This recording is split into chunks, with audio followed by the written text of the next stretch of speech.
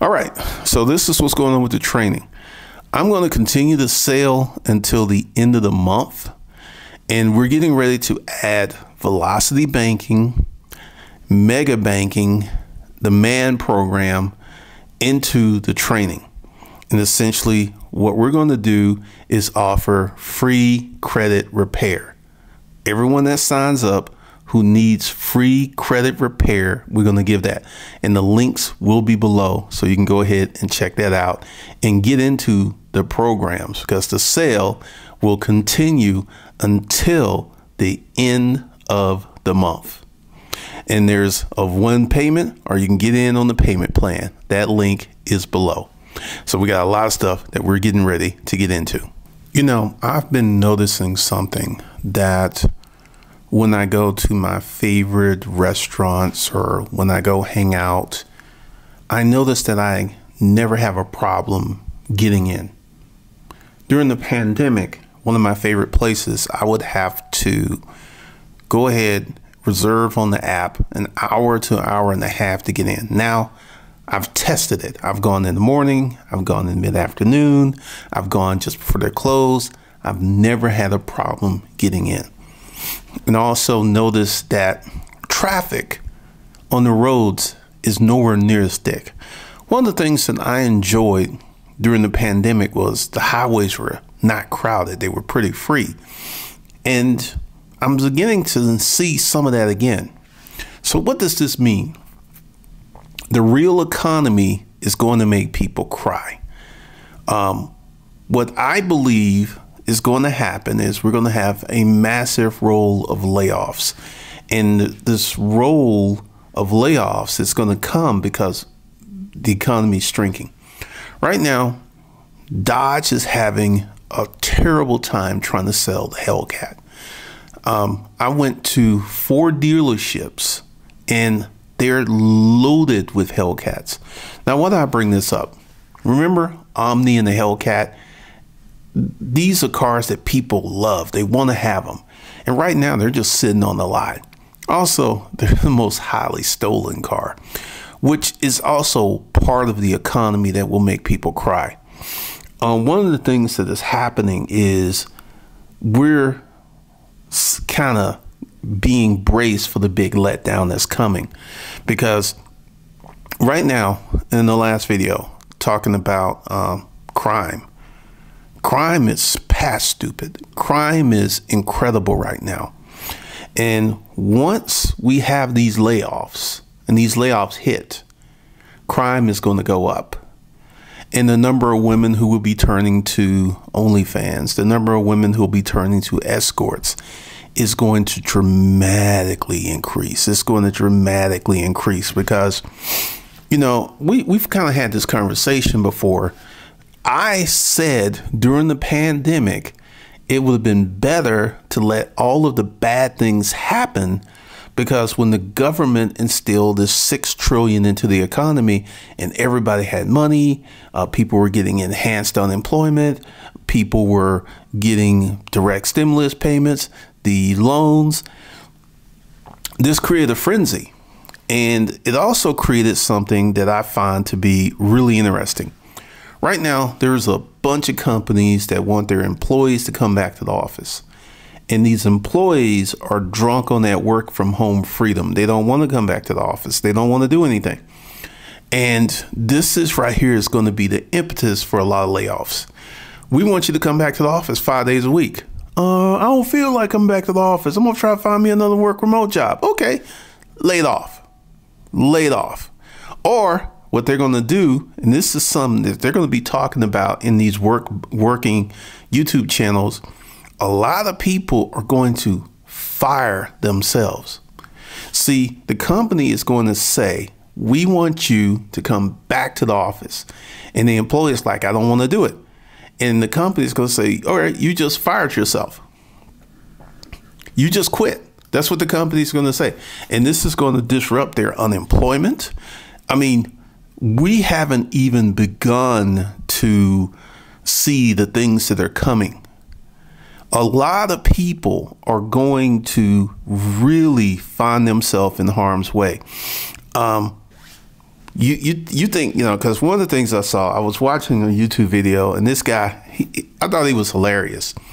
In this video, this guy talked about he just bought a boat, and then he goes on and talks about how the economy is hard for him, the economy is hard for the average person. He he he really put himself in line with being a normal, hardworking person, but this guy just bought a boat lives in a million dollar house, owns a car dealership. And I was just sitting there like, oh, okay.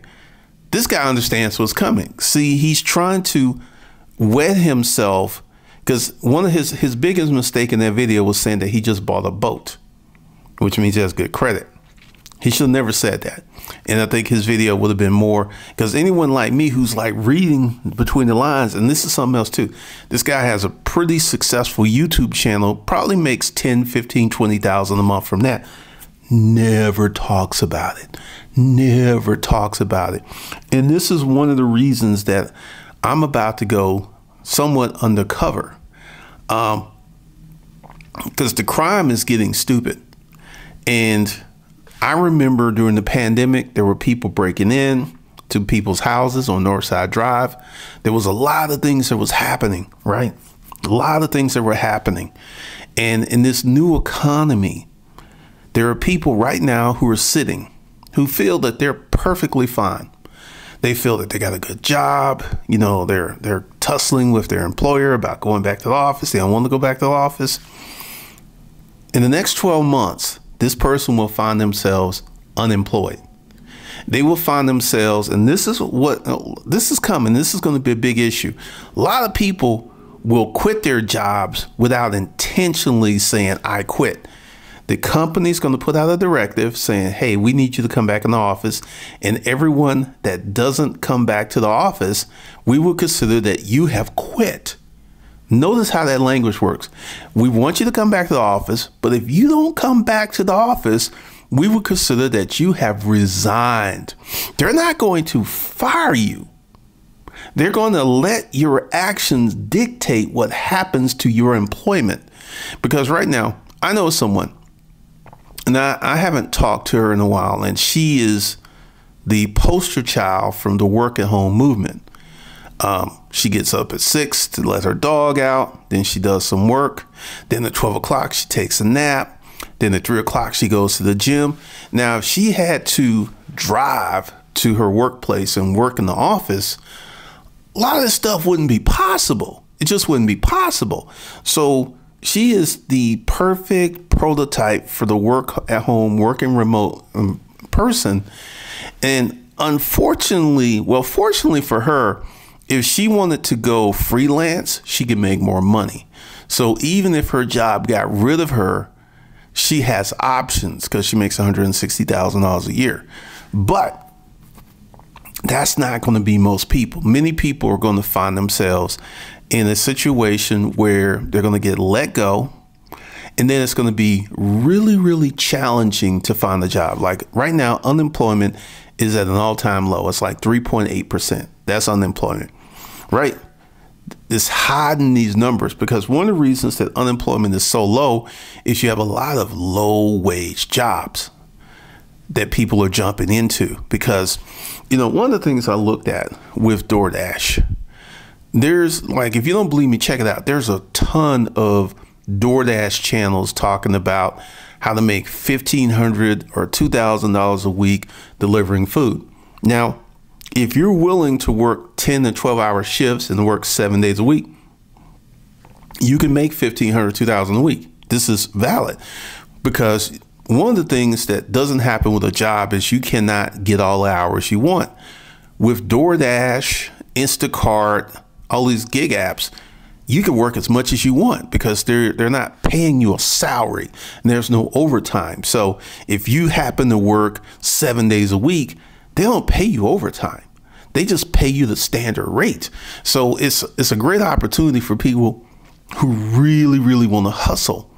And one of the things that you're seeing, like, um, I have noticed that so much is going on. Like, once again, with my building, there's a number of people who are moving out, a ton of people are moving out. And they're not moving out because I'm moving. I'm getting out of here. And one of the reasons I'm getting out of here is I need more space. And one of the things that is happening is a lot of people are moving, they're getting out of here, they're rolling out to find cheaper accommodations. And this is one of the things. And I will tell you, um, when I got my renewal notice, because I put in, because I knew I was leaving, um, I'll share a story with you.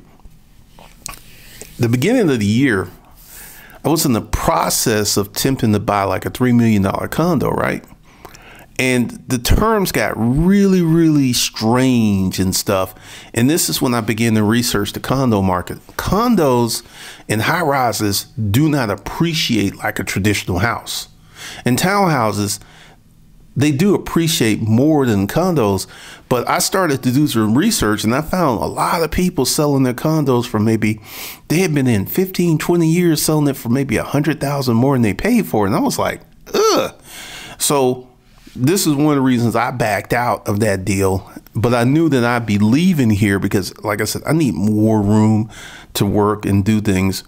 But a lot of the people that I'm running into are there. They're leaving.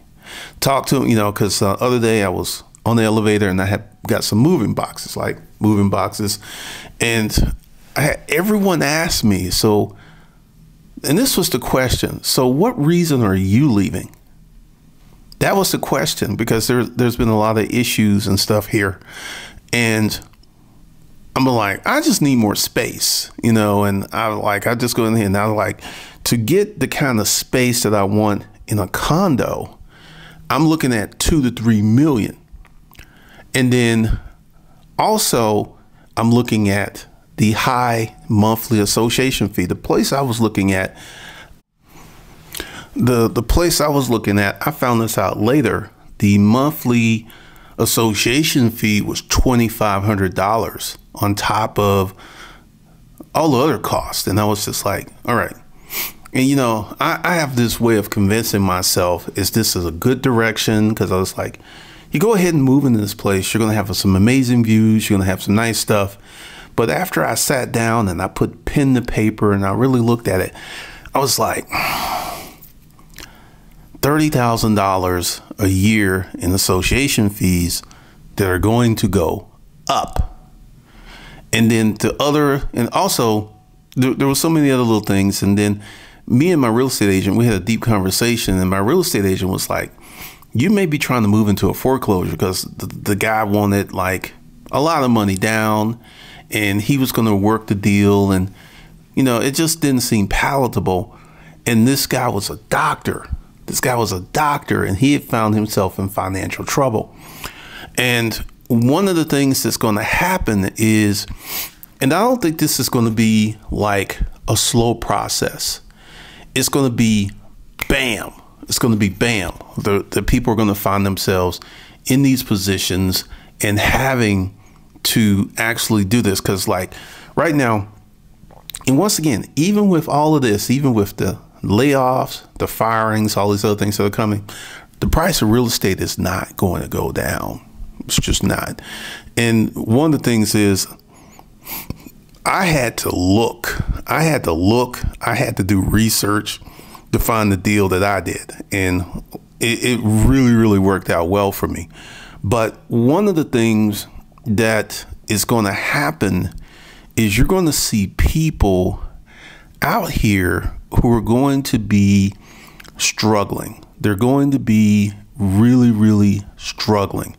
They're going to be um, doing a lot of different things to make it. And once these massive layoffs and firings start to happen, because I don't think it's going to be like a bit by bit, because when a lot of people in the tech industry got laid off, that was big news. But this is going to be bigger, because what do we know? We know that trucking is going through a crisis. We know tech layoffs are going through a crisis. And we know that the average American, and let's talk about this the average American doesn't have enough financial resources to buy the average house, which I think the average house price is 420,000. And with average household income being like 71, that's two people working and you know they simply don't have enough money to buy these houses because um, you would have to be putting down like conventional 20% that's $80,000 that's $80,000 and you know if they were to go FHA they can get away with like 3.5% which would be 15 maybe 20,000 and one of the things that I saw and this is what I saw in the real estate market that properties that were highly desirable went quick, and properties that had issues stayed on the market. And I've noticed this because uh, one of the things that I consistently see is a lot of people have no concept of who's going to buy their property. They have no concept of who has the ability to buy their property. And this is one of the reasons, and this is one of the reasons, because uh, I don't do it anymore, but these failed Airbnbs, that thinking that someone who makes three, four hundred thousand dollars a year is going to spend eight to ten thousand dollars to rent a regular house in a regular neighborhood. And this is another reason that I am getting out of Buckhead. Buckhead is very much the ghetto, very much so the ghetto. And you have a lot of people who live in this ghetto who have money. They have money, they have access, they have incomes, they have highly lucrative careers, but they're still with that ghetto mindset. They still have that ghetto mindset. And I've noticed because uh, one of the things that I'm getting ready to do is to insulate myself because, like I said, um, in that video, I'm not sharing nowhere near as much stuff as I used to. And I've been really, really careful to um, insulate myself in my new residence where you can't go to Google and search out where I live. And one of the reasons that I'm doing this is crime is going to be beyond stupid. Actually, it kind of crossed my mind that I, I might sell my Porsche. Uh, I can sell it for about 30000 more than I paid for because it only has 4,000 miles.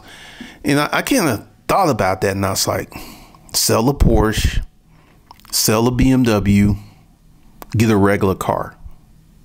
Because that Porsche, I, like I've had three. This is my this is my fifth Porsche. I had two SUVs and three cars. I have never had so many people stop me and talk about that car. I mean, it is a constant attention getter, and it's it's like, okay, do I do I sell the Porsche? Because this car is bringing me a ton of attention, a ton of attention, and I'm sitting there like, more than likely, I probably won't sell it because I like it so much. But one of the things that you, as a successful person, will have to do is watch your six. You're going to have to be looking over your shoulder. You're going to have to be really careful because one of the things I have noticed, and I was having a conversation with a lady who lives here, and she had parked her car, and someone parked next to her so close that she had to get into her car on the passenger side. And then when she got pissed off and went around, she saw the vehicle had been shot up. Someone parked a vehicle that had been shot up next to her car. And she doesn't know what happened and everything. She reported it to management. But I'm just sitting there thinking, you know, especially with Buckhead, uh, one of the reasons I'm getting out of here is the city is loud.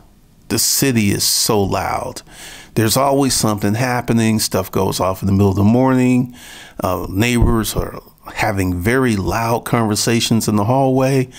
I mean, I'm just sitting here like, and this is part of the things that is happening with the situation here in America. Um, we have, this is the beginning before it gets really, really bad gets really, really, really bad. Because one of the things I have noticed is that number one, people don't want to work. That's that's a given. everyone is looking to be an influencer. Have you noticed how many brand new YouTube channels are here on YouTube? Have you noticed that there are literally a ton of brand new YouTube channels and everyone's trying to make their mark? Now, a friend of mine, Roberto Blake, he put out a video. There's 110 million YouTube channels, right? But only 10 million have a thousand or more subscribers. Only 10 million. So if you get a YouTube channel and you have 10,000 subscribers and you get really consecutive views, you're in the top 1% of YouTubers. And where the strange money is, is in that top 0.2%. That top 0.2%. There's only like 32,000 million subscriber YouTube channel. Oh, and this thing, and this is something else. Roberto's really good for this.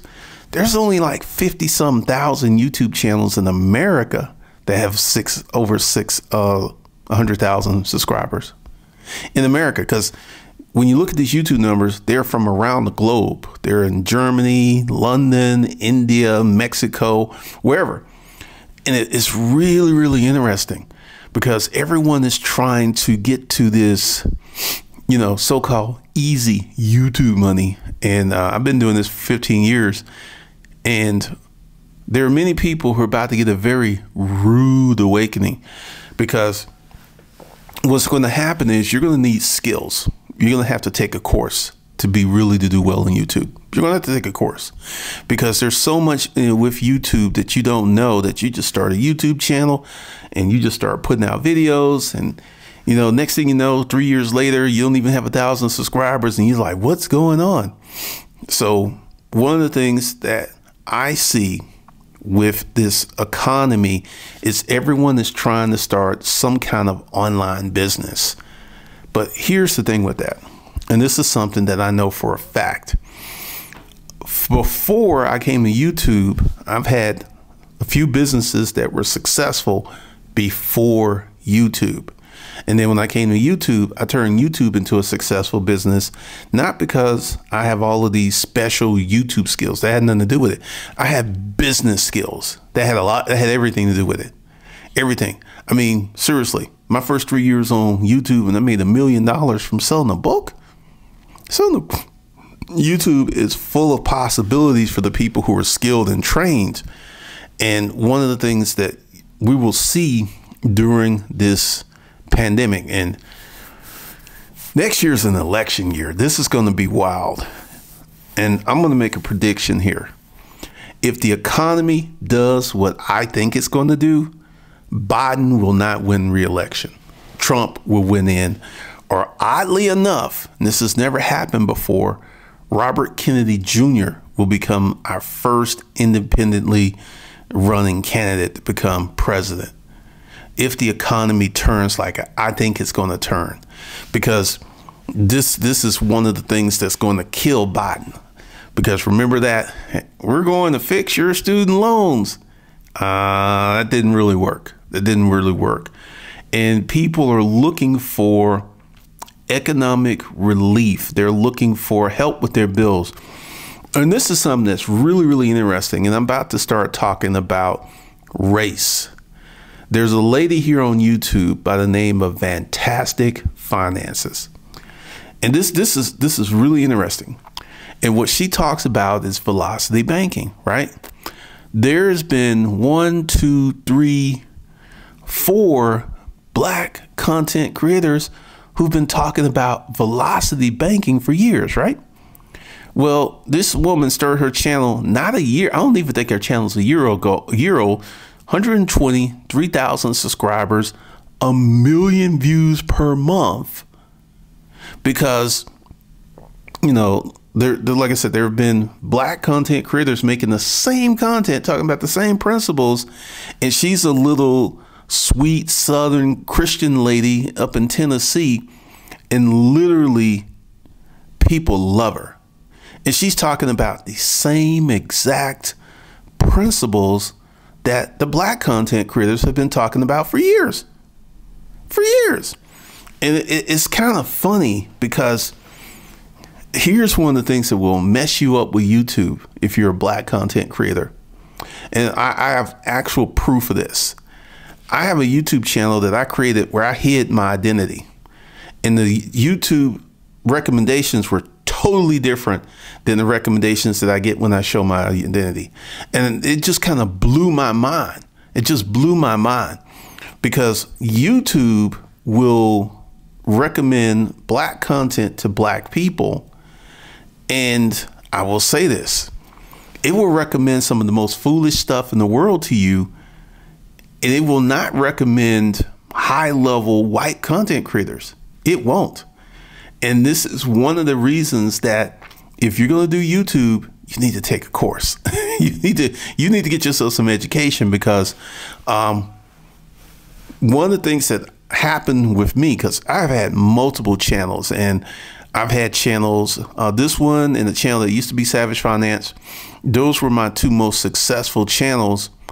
And if I wasn't getting a recommended to a black audience, Savage Finance would have blew up, would have blew up. But because YouTube was setting itself to recommend me to black folks and not high level, it, it was recommending me to black folks who were broke. And that right there is really interesting because once I get, I'll go back to my storage auction book, 98% of my content, 98% of my audience was white when I was talking about storage auctions because you know, and I knew this from fact. When I was in the storage auction business, there wasn't that many black folks out there. There was like literally a handful.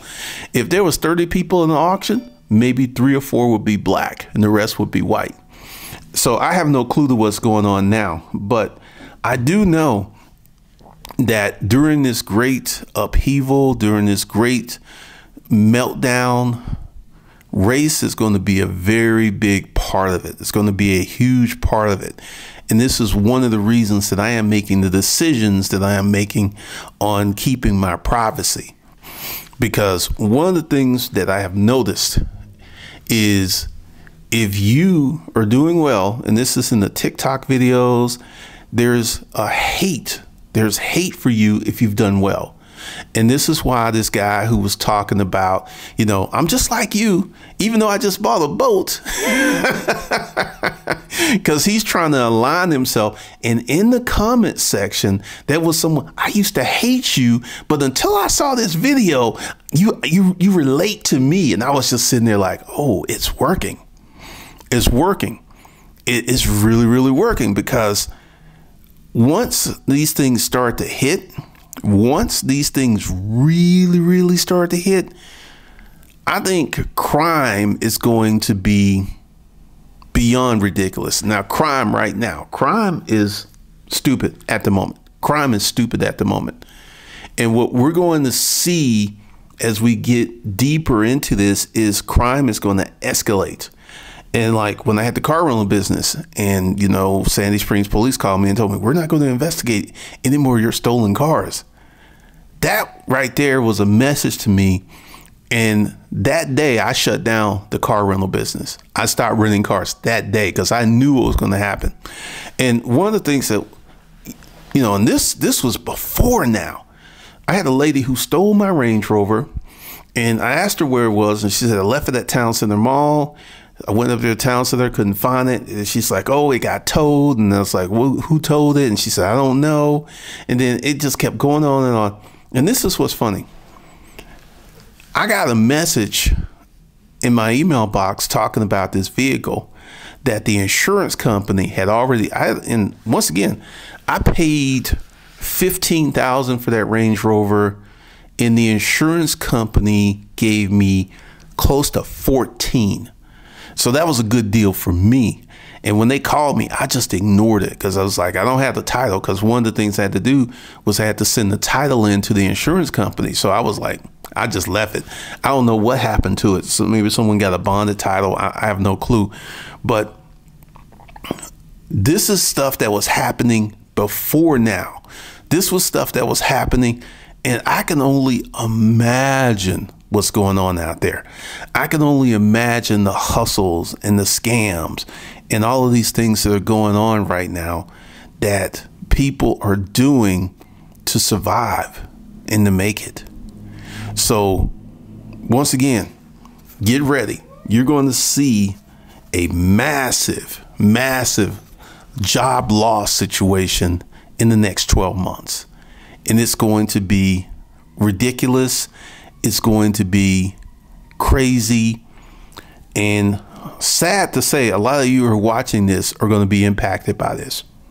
This is something that's coming because I can just see it with my daily activities. And when I go out and I just look, I can just see it. It's coming. And it's not going to be kind and it's going to make grown people cry. And the homeless population is going to dramatically increase in the middle of winter. The homeless population is about to explode. And this is one of the reasons that, like, I'm checking my six. I'm really thinking about stuff in the manner that I didn't used to think about. I'm really, really just looking at this whole thing very, very differently. Very, very differently. So, you know, I'm about to do some a whole lot different. So just be ready for that. Just be ready for that. All right, so we got some new training. And this is something I've saw. A lot of people had problems putting together their holding company. So one of the things that we're going to do is we're going to put your holding company together and some other stuff. We got a lot of stuff that's going to roll out probably November. And I'm going to continue the sale so you can hit that link below and get in on the sale deal. And we got a lot that is going to happen with the training, with the man program, and some other stuff. So be on the lookout for that.